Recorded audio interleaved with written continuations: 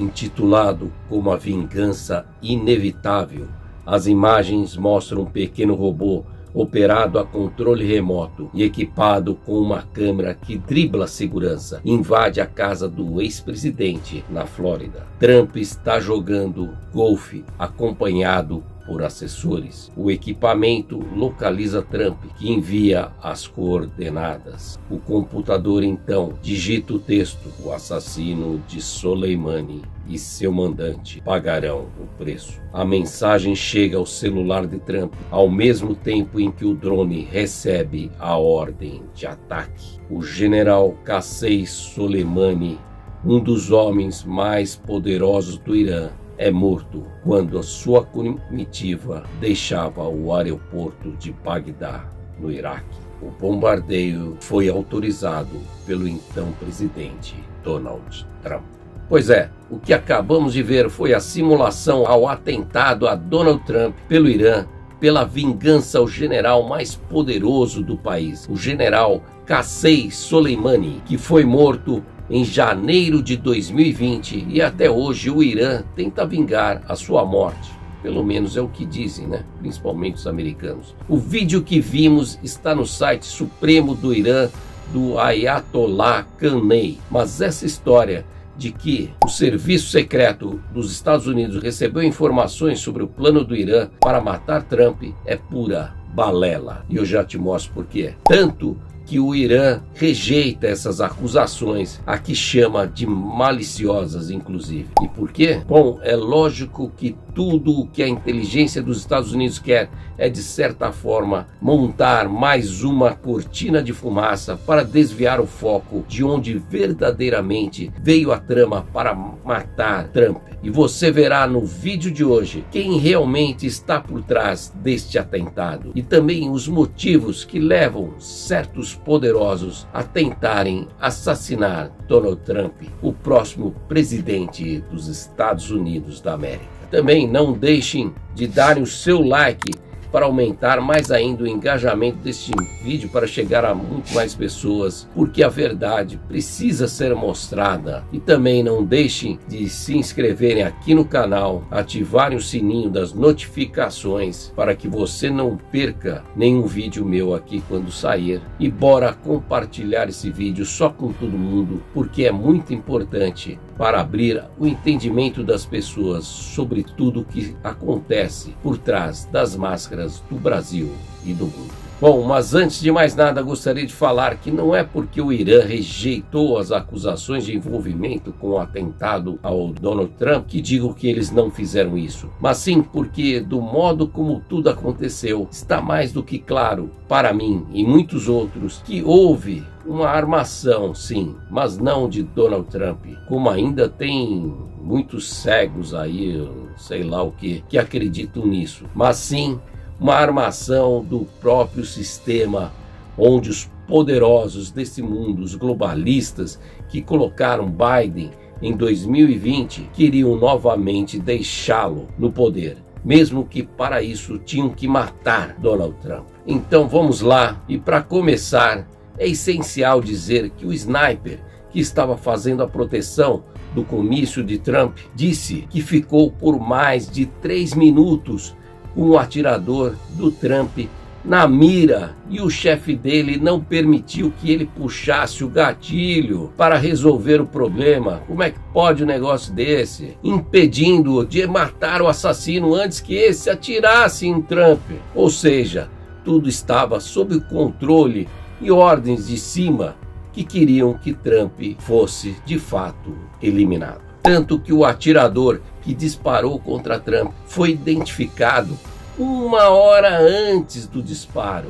Vejam só coisa, quanta insensatez, não é mesmo? E mesmo assim, deixaram o Trump falar lá no palanque e o cara agir tranquilamente, se posicionando em cima do telhado para fazer o disparo com toda a precisão. Tanto que os apoiadores de Trump viram o atirador e alertaram a polícia sobre ele, mas a polícia nada fez. Eu até mostrei uma dessas denúncias aqui no meu último vídeo aqui do canal. Vejam só. Bom, aqui o cara diz que viu o atirador subindo no container com um rifle e ele avisou o serviço secreto que nada fez. E ainda uma testemunha ocular diz que alertou vários policiais e membros do serviço secreto sobre o homem no telhado com um rifle mas eles o ignoraram. CIA, FBI, etc., não fizeram nada. Esta é uma prova incontestável de conspiração do sistema.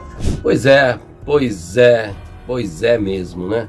Quando a gente diz que o sistema é foda, não estamos brincando. Mas a verdade vem à tona para podermos desmascarar todos esses poderosos do sistema que querem, porque querem nos controlar, tirando a nossa liberdade e querendo também nos fazer escravos deles. Mas antes que vocês digam que é só isso, calma que tem mais. Como na imagem que vemos agora, onde você pode ver aí que não é que houve uma falha do sistema de segurança, mas sim tudo planejado nos mínimos detalhes para que o atentado tivesse sucesso e eliminasse Donald Trump, como a distância do atirador para Trump, que estava a menos de 150 metros, além do atirador estar com uma visão ampla e geral do posicionamento onde estava Donald Trump, onde podemos ver no quadradinho pontilhado em cima da grama e também à esquerda no quadrado pontilhado, temos o local do atirador que estava numa posição elevada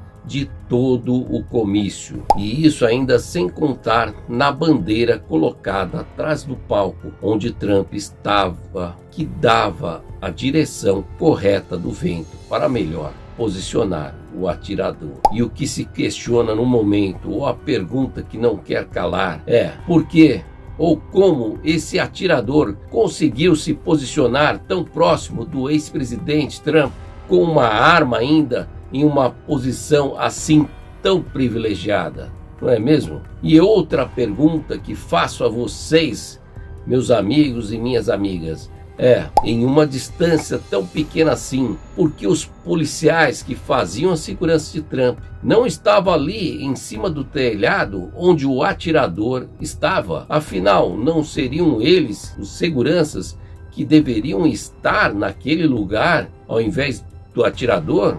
Por ser tão perto assim, né?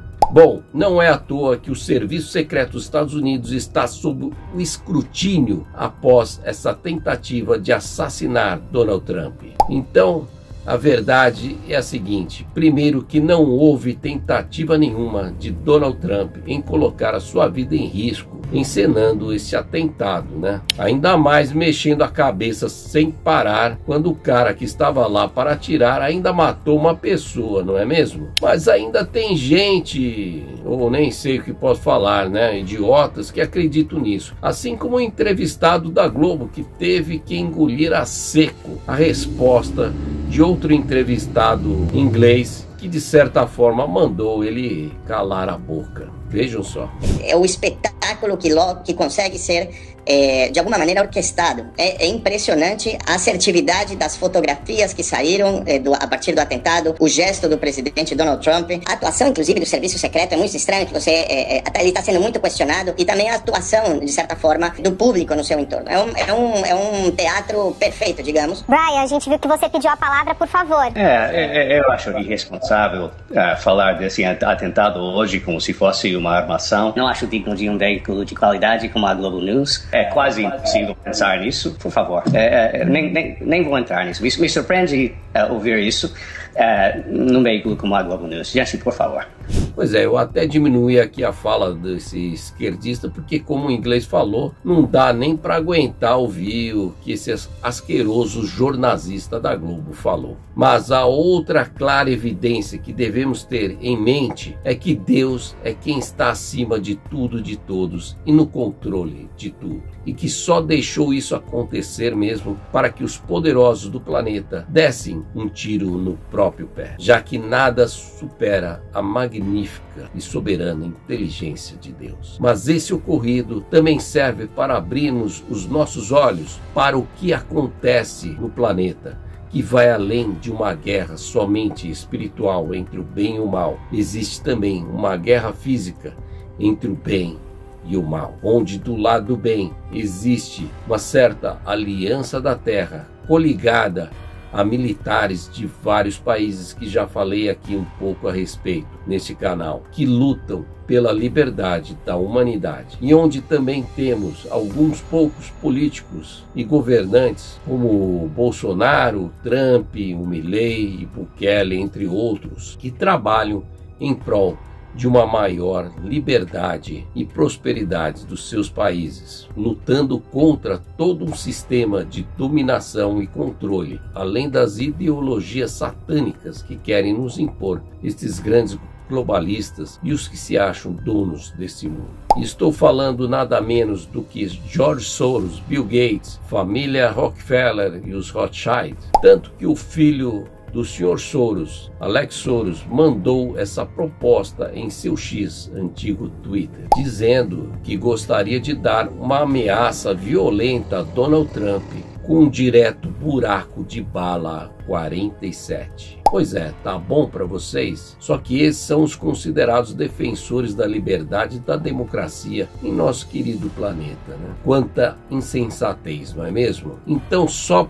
para termos uma ideia de quem estamos falando, veja no vídeo agora. It would be the time because you really need to bring China into the creation of a new uh, world order, financial world order.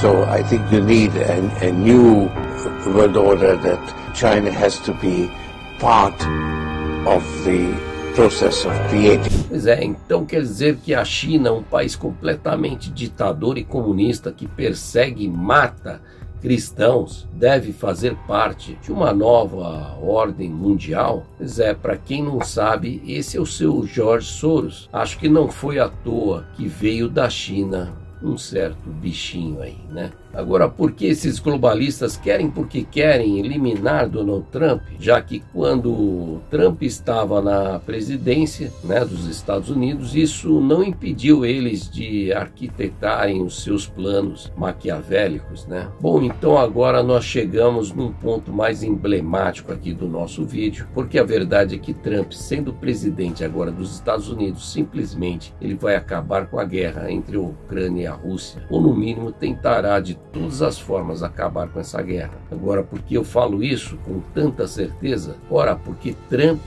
vai simplesmente acabar com toda essa farra dos cofres públicos americanos para o Ucrânia que financiam esta guerra. E por que falo farra? Bom, só para começar, são mais de 95 bilhões de dólares para a Ucrânia e Israel liberados pelo Senado americano ainda esse ano, onde destes 95, 60 bilhões são para a Ucrânia. É claro que a sua grande maioria é em ajuda militar, não é mesmo? Mas logo da Ucrânia, né, que é simplesmente o país mais nefasto e com certeza talvez mais criminoso até do que a China, porque fazem certo tráfego aí de pequenos para vários laboratórios de biotecnologia, principalmente para subtraírem certas substâncias, né? Mas este é um assunto que ficará para um próximo vídeo. Agora, o importante a frisar aqui é ressaltar que Biden e seu filho, assim como Obama e sua esposa, ou esposo, sei lá, e o casal Clinton, recebem uma mega fortuna de bilhões de dólares com dinheiro enviado à Ucrânia onde o Zelensky, ao receber o dinheiro, repassa uma gorda parte para eles, branqueando assim o dinheiro enviado. Bom, assim como fizeram e querem fazer novamente, né, os irmãos batistas com o Lula, né, quando fez a sua aposentadoria, né, da qual o Palocci mesmo delatou. Mas por isso mesmo é claro e óbvio que querem eliminar Trump, porque com Trump assim como foi com Bolsonaro aqui no Brasil, a mamata acaba de vez. E isso é tudo que os gangsters, né, da democracia, né, que eles chamam, né, principalmente agora da democracia americana, não querem que acabe, né? Por isso também que tanto Obama quanto Clinton queriam que Biden continuasse na presidência e não outro, mesmo que fosse outro do seu próprio partido. Mas agora, como já sabem que já perderam, principalmente com Biden, aí a coisa ficou mais séria do que imaginavam. Tanto que agora os financiadores de campanha do Biden estão desistindo de apoiá-lo, né? Onde já congelaram 90 milhões de dólares. Agora estão preocupados muito mais ainda, né? Com a escolha do vice do Trump, que inclusive já contribuiu para a paralisação do projeto de ajuda dos 60 bilhões de dólares à Ucrânia. E de repente, Biden aparece doente e cancela seu discurso em Las Vegas. Mas para quem não sabe, muitas vezes para certos políticos, a tal doença COVID-19 é um sinal de que irão eliminá-lo ou pelo menos tirá-lo do jogo político. Então, me parece certa a saída de Biden para a entrada, talvez, da sua vice Kamala Harris. Bom, e assim terminamos o vídeo de hoje. Se você gostou desse vídeo, não deixe de dar o seu like, ativar o sininho das notificações, se inscreverem aqui no canal e bora compartilhar esse vídeo só com todo mundo para que todos conheçam a verdade, né? Deixem de ficar cegos e conheçam realmente as verdades que estão chegando para que todos possam abrir as mentes, porque elas precisam ser mostradas para todo mundo, né? A fim de que não sejamos mais enganados, né, por esses poderosos. Um beijo no coração de todos vocês. Fiquem com Deus, que Deus nos abençoe, nos proteja, nos guarde, nos ilumine e nos livre de todo mal. E a gente se vê no próximo vídeo.